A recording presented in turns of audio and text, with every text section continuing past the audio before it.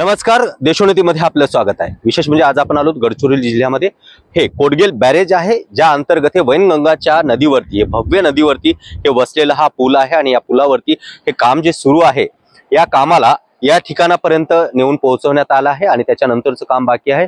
जवळपास आणखी दोन ते तीन वर्ष याला लागू शकतील असा अंदाज आहे. पण याच्यानंतर गडचिरोलीकरांना याचा जास्तीत जास्त फायदा होण्याची शक्यता आहे. कारण या पात्रामुळे या ठिकाणी ओलिताखाली जमीन येण्याची शक्यता आहे. आपण पाहू शकतोय हे भव्य हे वैनगंगेचं रूप आहे.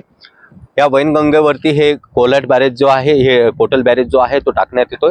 आणि याचं काम हे मोठ्या प्रगतीपथावरती आहे. आपण पाहतोय की या ठिकाणी हे काम इथपर्यंत येऊन पोहोचलं आहे आणि याच्या पुढचं जे काम आहे हे काम सुरू आहे. हे काम पूर्ण होण्यासाठी आणखीन दोन ते तीन वर्ष लागतील असा अंदाज वर्तवला जात आहे. आणि हे या कामाचं वैशिष्ट्य म्हणजे जर पाऊस नसतो किंवा पा- पावसाळ्याचे दिवस नसतात तेव्हा पाण्याचं पात्र कमी असतं आणि आपण त्या कडेला पाहू शकतोय की आतमध्ये हे सगळे गजचे पिल्लर दिसत आहेत ते टाकण्यात आले आहेत पण बाकीचं जे काम आहे पावसाच्या पाण्याच्या प्रवाहाच्या जास्त याच्यामुळे हे काम या ठिकाणी खंडित होऊन बाकीच्या कामाची सुरुवात असतं.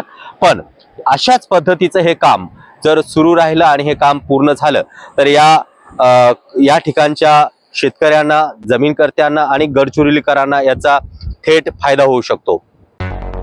मुंबई पुणे नागपूर मराठवाडा असो का विदर्भ राजकीय सामाजिक शैक्षणिक क्षेत्र असो का क्रीडा सर्वच घडामोडीचे विश्लेषण पाहायला विसरू नका. फक्त देशोन्नती न्यूजवर.